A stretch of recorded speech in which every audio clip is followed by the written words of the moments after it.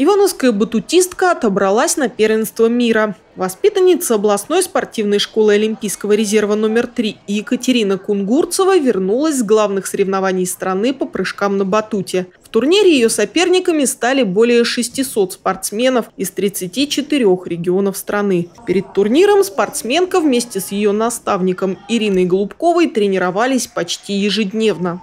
Но мы реально готовились серьезно к этим соревнованиям. Мы даже 10 дней за неделю до соревнований были на сборах в Новогорске. То есть мы тренировались там, две тренировки в день практически без выходных. Затем мы приехали сюда, мы тренировались день, но так как она учится один раз в день, тренировались здесь. Вот, поэтому для нас это был самый ну, основной старт. Первенство России – это не только мерило подготовки в различных регионах. В первую очередь это отбор на мировые соревнования. Золотые и серебряные призеры гарантированно отправятся на первенство мира в Токио за счет Минспорта. Поэтому Катя ехала на соревнования с решимостью сделать все от нее зависящее, чтобы добыть путевку на главный мировой старт. Я волновалась очень сильно из-за того, что я боялась, во-первых, из-за того, что если я что-то плохо сделаю, я могу не отобраться в Токио.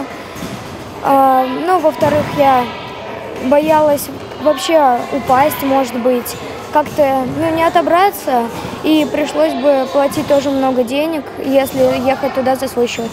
Месяцы подготовки не прошли даром. Екатерина Кунгурцева завоевала сразу две награды, заняв второе место в дисциплине прыжки на батуте и первое место в мини-рампе. И заслуженно получила право представлять нашу страну на первенстве мира в Японии.